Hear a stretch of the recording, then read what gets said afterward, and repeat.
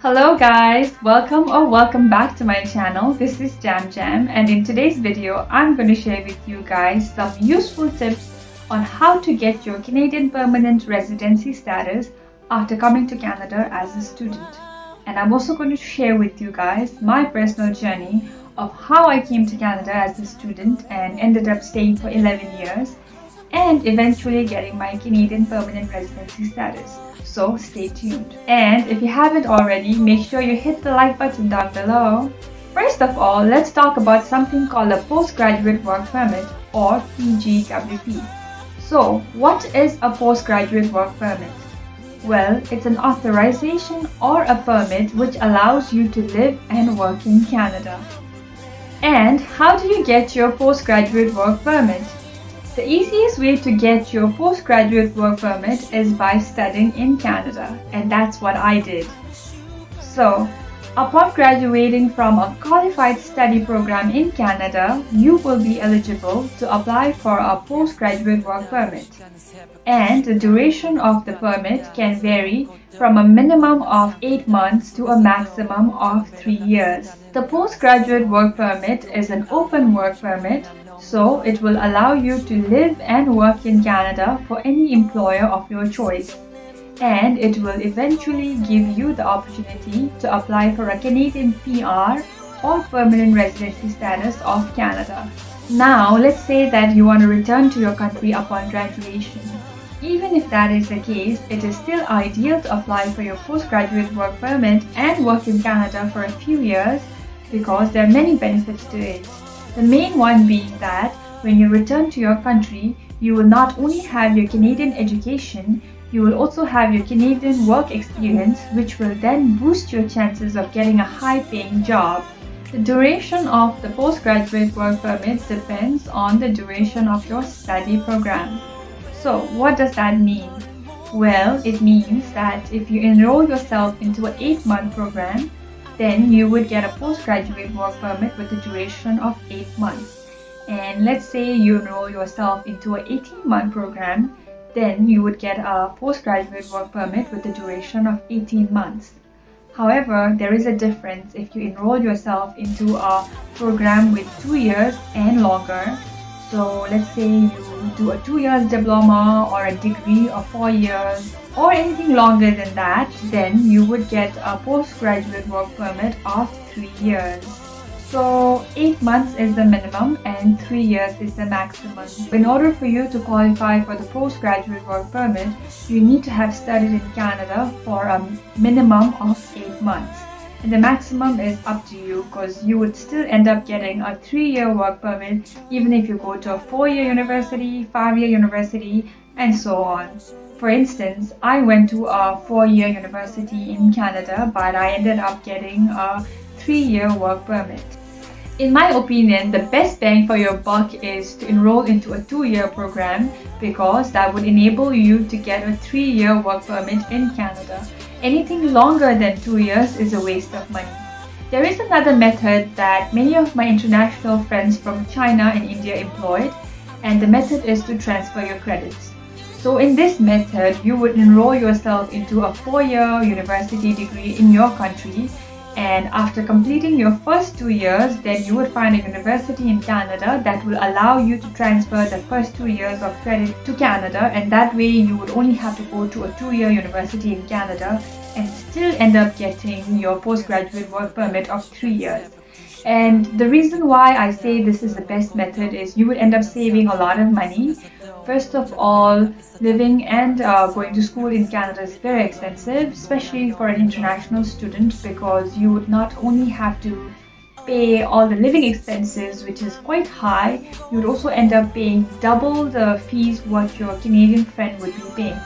So let's say if you go to a four-year university in Canada, that would mean eight semesters. So for every semester, you would end up paying double the tuition fees your Canadian friend would pay. So if your Canadian friend pays a fee of $10,000 every semester, you would end up paying $20,000.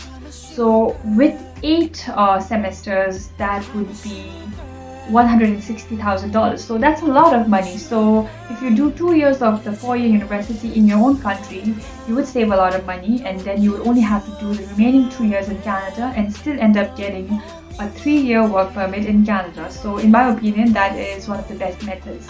I ended up coming for a four-year degree in Canada and I, I honestly think that's a waste of money. So there is something really important that you need to know about the postgraduate work permit and that is postgraduate work permit is a once in a lifetime opportunity. So that means let's say you came to Canada for your undergrad or university and after studying for four years in Canada you ended up getting a three-year postgraduate work permit and in that time you either worked in Canada or you didn't and you went back to your country and now you want to come back to do your masters and you want to apply for a postgraduate work permit again. And this time the government will not give you another postgraduate work permit because you are only allowed once in a lifetime so you cannot double dip so if you ever get your postgraduate work permit I would advise that you use it wisely now let's find out what you need to apply for your postgraduate work permit First of all, you need to be a full-time student in a Canadian university or program with a duration of 8 months and longer. That means you cannot be a part-time student. Also, you cannot study online. Well, you can study online but not all of your program. At least 50% and more of your program cannot be online for you to be eligible to apply for your postgraduate work permit. Secondly, you need to study continuously without a break except for the scheduled break that your university offers you. For instance, a university in Canada would give you a 4-month break in the summer and about a month's break in the winter. So other than these scheduled breaks, you cannot take any breaks. So that means you need to be a full-time student and study continuously. Third, the institution that you enroll yourself into must be part of the designated learning institution list. So before you apply to any university or institution in Canada, make sure you check that your institution is on the list because if it isn't, then you will not be eligible to apply for your postgraduate work permit. In order to do that, I'm going to share with you guys a link in the description below where you can check if your institution is on the list. And finally, you need to study at a postgraduate level and upon graduation, you must receive a certification, a degree, or a diploma, and you need to have this certification when applying for your postgraduate work permit. Upon graduation, you will have 180 days to apply for your work permit. However, I would advise you to do it as soon as possible because there are a lot of documents that you need to compile to apply for the postgraduate work permit as well as the waiting times can vary depending on the time that you apply. A common misconception is that in order to apply for your postgraduate work permit, you need to have a job offer. Well, let me tell you, that's not true. As long as you meet all the above mentioned criteria, then you will be eligible to apply for a postgraduate work permit. And the processing time varies, however, the cost of applying for your postgraduate work permit as of 2021 is 255 Canadian dollars. After you receive your postgraduate work permit, then you are eligible to work for any employer in Canada for the duration of your work permit. For me, I received a three-year work permit, so I was eligible to work for any employer in Canada. So my plan initially was to return to my country upon graduation. However, a friend of mine told me about the postgraduate work permit and after speaking with her, I realized it would be a wonderful opportunity for me to live and work in Canada for a few years. So that's how I ended up applying for my postgraduate work permit and after receiving my permit, I got a job at a bank and one thing led to another and I ended up staying in Canada for the duration of the three years that I was allowed to uh, because of my permit. And in that three years, I qualified to apply for a Canadian permanent residency status. So I thought, why not give it a chance? And that's what I did. And I got really lucky because I ended up getting my permanent residency status within a span of four months and that is really fast because a lot of my friends who applied it took them about a year and some of them even took two years to get their PR uh, status in Canada so I got mine in four months because I applied through the express entry pool and I'm going to let you guys know how the express entry pool works. So let me tell you what is a Canadian permanent resident or a Canadian PR status. The textbook definition of a Canadian permanent resident is somebody who is allowed to live in Canada, however, uh, you're not a citizen still. So the only difference between a citizen and a Canadian permanent resident is that as a citizen, you have the right to vote. And as a PR, you don't have the right to vote. And another difference is as a PR, you would have to renew your permanent residency status every five years and in order to be eligible to a renewal, you need to have lived in Canada for a duration of two years out of those five years. However, when you are a citizen, you don't need to renew it because you are a citizen. So that's the main difference. Other than that, as a PR, you have almost all the same rights as a Canadian citizen. Now, let's talk about the Express Entry Program. Express Entry is an immigration program to bring skilled workers to Canada. The program uses a comprehensive ranking system which grants points based on certain criteria. With the Express Entry program, it usually takes about 6 months to get your permanent residency status. As I mentioned, I got mine in about 4 months. However, right now with COVID, the processing times have gone over the roof, so some of my friends are still waiting for their permanent residency status and it's been over a year. So, there are two steps to this process.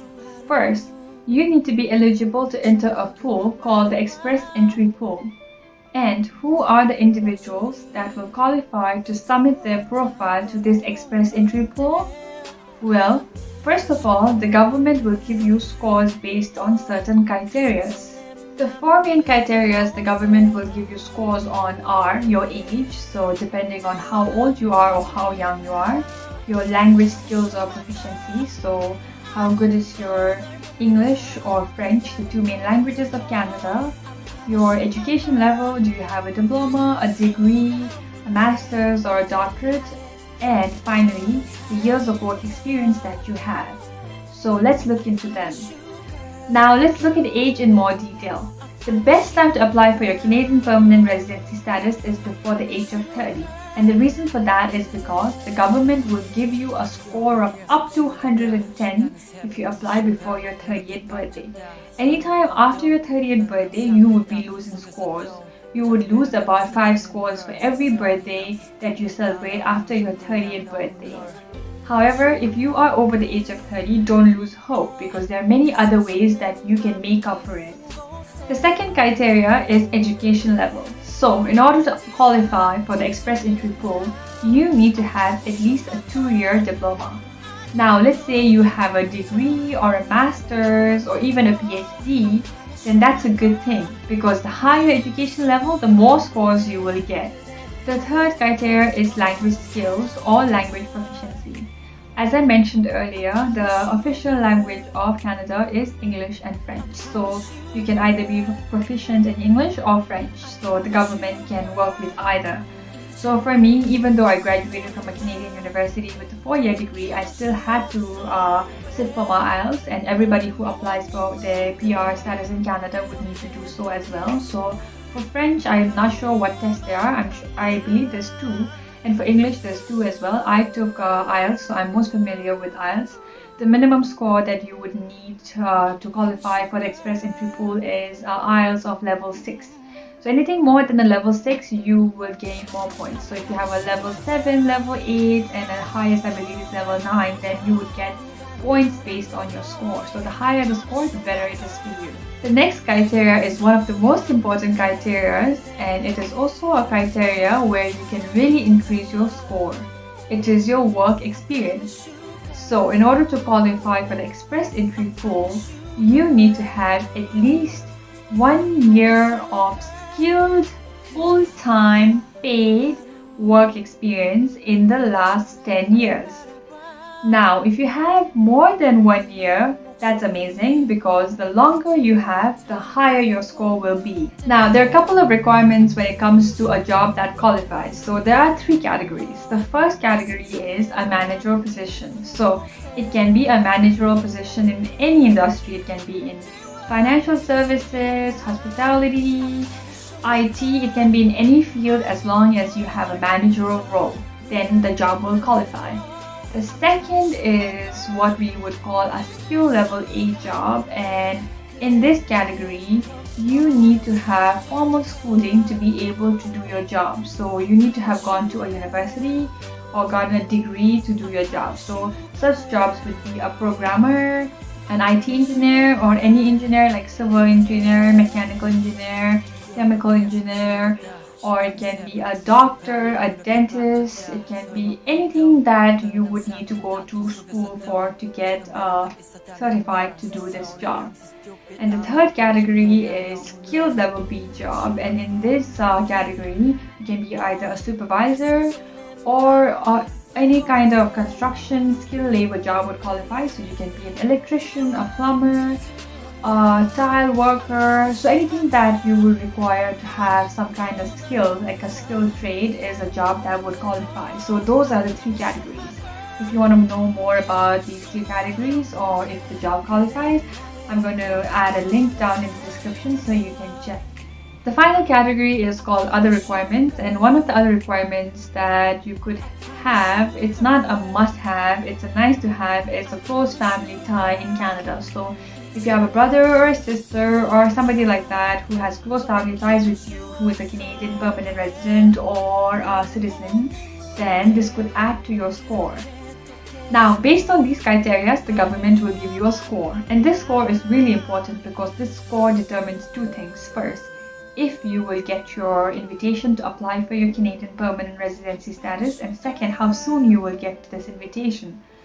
So the government does a draw called the Express Entry Draw every two weeks and during this draw they would have a number and this number would be the minimum score required for you to get an invitation. So anybody who has that number and higher would receive the invitation in that week. So let's say government did a draw this week and the number is like 450 then anybody who has score of 450 and higher would receive this invitation to apply for Canadian permanent residency status. The ideal score is around 450. So if you have a score of 450 and higher, you should have a very high chance of getting your invitation. So during my time, I had a score of 485, so I got invited very fast. I got invited within a span of a month. I remember I was put in the express entry pool in December, and by mid-January, I received my invitation to apply. And after I applied in February, I got my PR status in April, so it took me about four months. However, scores vary all the time. So I remember in 2020 there was a time when everybody in the pool got invited regardless of their score. So that month Canada had one of the lowest um, express entry applications because of COVID and everybody in the pool got invited so you could get lucky like that. Now once you get your invitation to apply for your Canadian permanent residency or PR status almost all of your process is completed. However, you do need to send in your application and there's a whole other process involved in that. So if you want me to make a video on that, let me know in the comments down below. For today's video, we are at the end of our video. So thank you so much for watching and sticking with me till the end. If you have any comments or if you have any questions about the postgraduate work permit or the express entry process, let me know in the comments down below and I will do my best to answer them for you. And if you guys haven't already, you know the drill. Make sure you smash the like button and subscribe to my channel. See you guys next time. Bye!